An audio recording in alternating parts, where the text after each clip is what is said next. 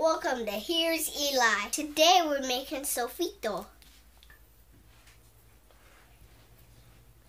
First thing we have to chop them up.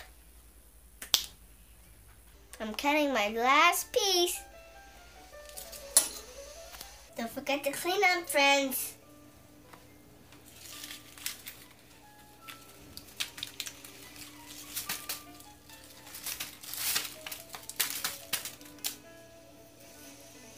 I already put my oil in.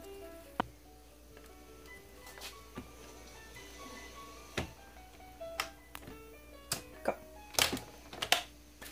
Now we're gonna turn it.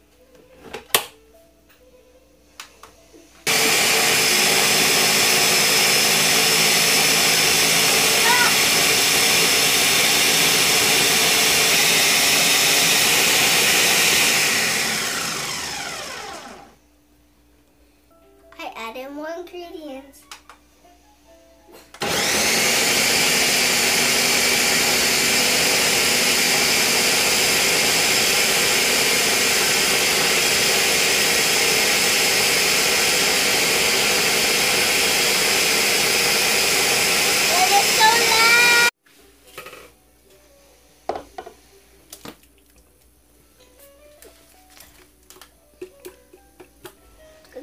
How coming along.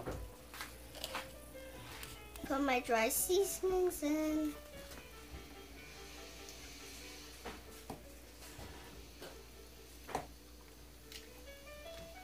You can use sofrito for many things.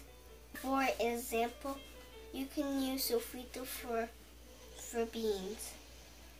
Thanks for watching. Join us next time. Shout out to Timothy this epic fan mail.